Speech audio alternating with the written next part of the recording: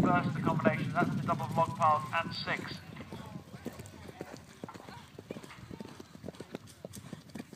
Out of comes Petra James.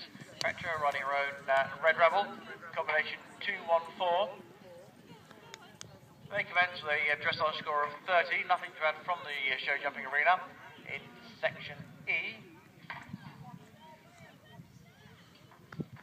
Result here for someone else who's in section E. This time it's Georgina Nichols and.